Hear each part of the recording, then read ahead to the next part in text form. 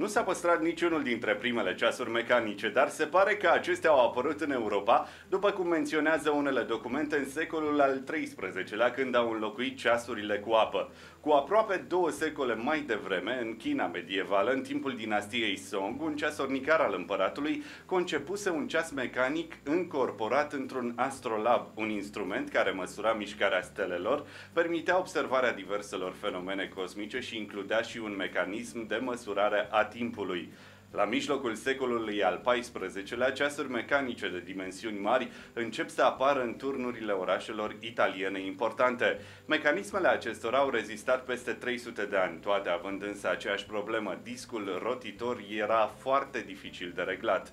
Progresele se fac odată cu inventarea ceasului cu arc între anii 1500-1510 de către lăcătușul de origine germană Peter Hanlein din Nuremberg. Prin înlocuirea greutăților foarte mari din interior, așa cum erau mecanismele de până atunci, ceasul mecanic devine mult mai ușor și portabil, bucurându-se de popularitate în rândul nobililor înstăriți datorită dimensiunilor reduse și pentru faptul că putea fi așezat pe birou și nu doar vertical pe perete. Ceasul lui Heinlein nu avea secundar, acesta fiind inventat mai târziu, în 1670, nici protecție de sticlă și încetinea pe măsura folosirii. Galileo Galilei, la începutul secolului al XVII-lea, schițează surprinzător de amănunțit mecanismul de funcționare al unui ceas, dar nu reușește să construiască și un prototip în timpul vieții.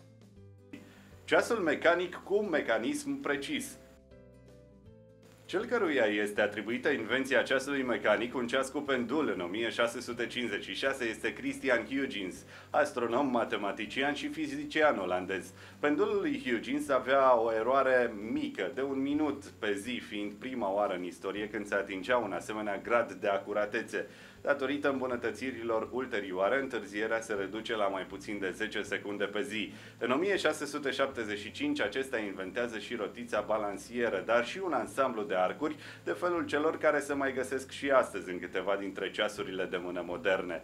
În anul 1671, britanicul William Clement începe fabricarea ceasurilor mecanice la care se puteau da acele înapoi, o îmbunătățire substanțială care reducea interferența în mișcarea pendulului. În 1721, George Graham introduce o modalitate de a compensa variațiile pendulului din cauza temperaturii, iar John Harrison, tâmplar de meserie și ceasornicar amator, rafinează invenția lui Graham și pune la punct și alte metode prin care se putea reduce fricțiunea. Până în anul 1761, Harrison construiește un cronometru marin cu arc și rotiță balansieră, care câștigă un premiu uriaș din partea guvernului britanic. Astăzi, suma s-a ridicat la valoarea de 2 milioane de dolari, pentru că, prin intermediul invenției sale, longitudinea putea fi determinată cu o marjă de o cincime de secundă.